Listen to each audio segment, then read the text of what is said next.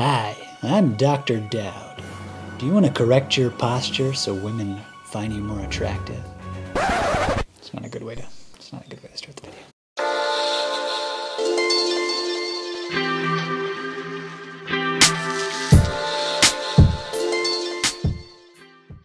Hey, it's Shane from GotRom.com. In today's video, we're going to talk about posture correctors, those devices that you wear, and if they're really worth it. All you need to do, the ads proclaim, is wear a $39.95 shoulder strapping device called the Posture Now. Or is it the Posture Wow? All these posture saving devices that have flooded the market these days are intended to combat what is a real problem, which is the slumped posture, the nerd neck, text neck, all of these postural issues that are plaguing our society. But are they really the answer? These posture correctors are supposed to tackle the epidemic of slumped posture brought on by days hunched over cell phones, tablets, computers, laptops. Beyond just posture correctors, there's posture corrector bras, braces, shirts, and even digital sensors. The purpose of all of these is to get us to do one thing straighten up. But do they really work? Prolonged periods of screen time where your head is forward of your body wreaks havoc on your neck, traps, and shoulders. Not only that, but there's also links between posture and mental health. If you have depression or anxiety, you'll tend to hunch or curl inward. On the other hand, simply sitting up a little bit straighter can actually make you feel better emotionally. So, having better posture is a great goal, but unfortunately, most posture correctors don't actually help you achieve that goal. In fact, some of these devices can do more harm than good. That's because your body begins to rely on the devices to hold you up, especially if you wear them for long periods of time. It's kind of like if you notice that your legs hurt when you have to stand under your own power, and so you get a pair of crutches and you lean on the crutches and you're like, ah, this feels easier to stand. I'm to do this all the time.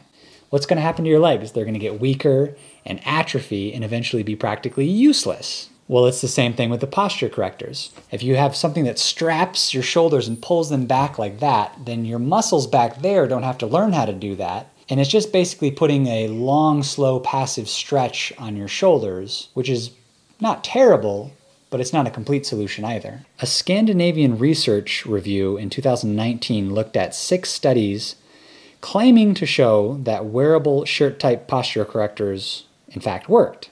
The review found that most studies about posture correctors were poorly designed and there was some ulterior motives, meaning who was funding the study. Well, it turns out that often device manufacturers were potentially funding these studies, thus biasing them. The authors of this review concluded that there was no viable evidence that posture correctors work. There are other devices where you put an electric sensor on your back, and anytime you start to slouch, it gives you a little buzz, whoop, to remind you to straighten back up. Unfortunately, we can't just outsource our mindfulness to electronic devices. Sure, in one sense, it's kind of nice to have a gentle reminder to do something that you should do, but it's not a long term solution.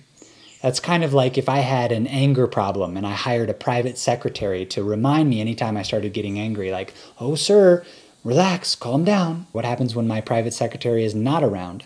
I haven't actually developed the internal abilities to be aware of where my posture is in space. But not only that, there's one other major downside of these posture corrector devices. They assume that bolt upright is always the best posture, which just isn't the case. The spine is made to move through flexion, extension, rotation, and everything in between. Of course, we don't want to be sitting like crap all day long, but instead of wearing one of these crutches, these posture devices, it'd be better if you learned how to stretch, strengthen, and lengthen your muscles and train them how to have good posture without the need to rely on an outside source. One of the disadvantages of these posture correcting devices is that it's basically just a long, slow, passive stretch. They pull your shoulders back and hold that for long periods of time. But that's only one out of three things that makes a difference for your posture.